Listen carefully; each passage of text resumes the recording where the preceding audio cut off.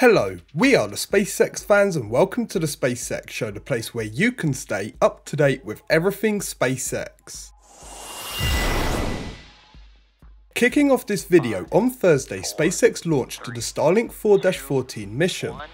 Ignition, and liftoff of Starlink 414.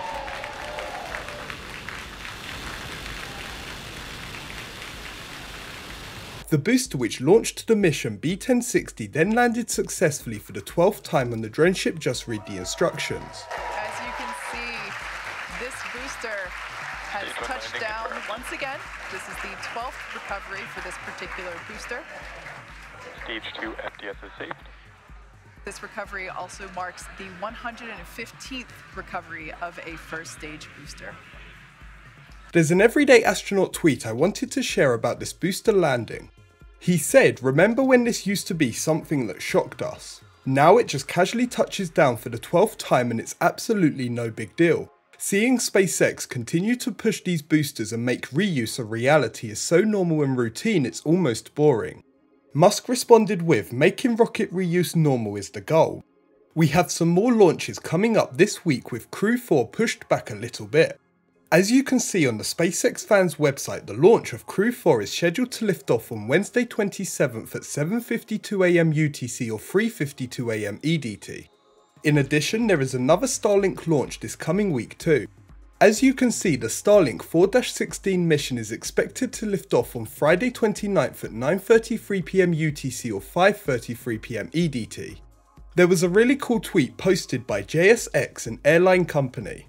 They said JSX is proud to be the first air carrier to adopt SpaceX Starlink Internet in flight free for every customer on board. We'd call it the best Wi Fi in the sky, but it's actually the greatest Wi Fi in the galaxy, coming later this year. There was a cool video posted by SpaceX to celebrate Earth Day that I want to share. It's the cupola from the Inspiration 4 Crew Dragon capsule.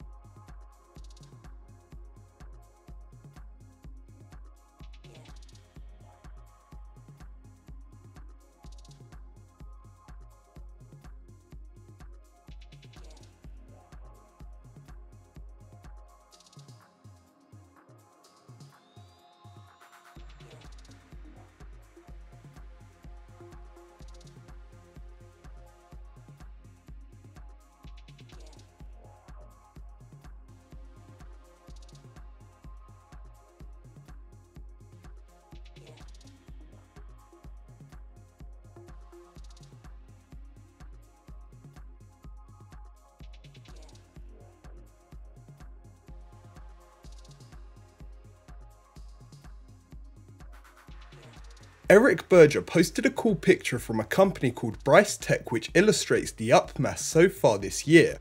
SpaceX is ahead with about 115,900 kilograms upmass in Q1 2022, followed by Roscosmos with a mere 19,000 kilograms. This article was posted about the return of the astronauts of the Axiom 1 mission from the ISS. Posted on Friday, it said tomorrow the astronauts plan to undock from the International Space Station aboard the SpaceX Dragon spacecraft at 6.35pm EDT. E On Sunday, April 24th, the crew will splash down off the coast of Florida around 1.46pm EDT. E This article was posted by Space News.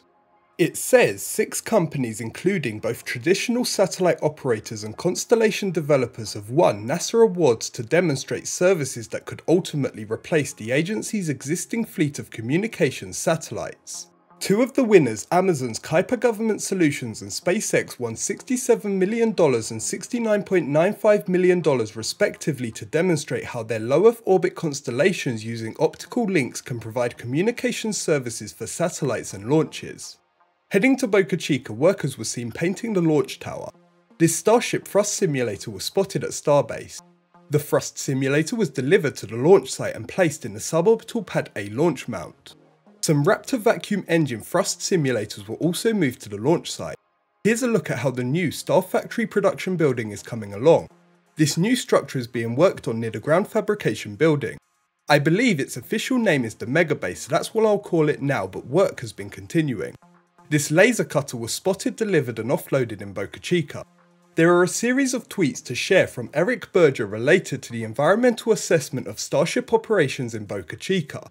The first says we are one week from the FAA's latest estimated completion date of the environmental review process at SpaceX's Boca Chica launch site in South Texas. To be clear, I have no confirmed information, but what I'm hearing suggests another delay is likely. The next tweet says, frankly, we are at the point in this process where I think the chance of a Starship orbital launch in 2022 is probably significantly less than 50%.